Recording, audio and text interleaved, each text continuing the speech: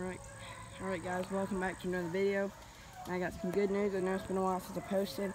There's this weird noise.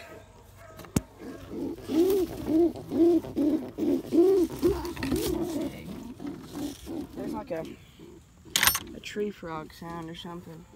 Oh, it'll go back and sit on its nest probably.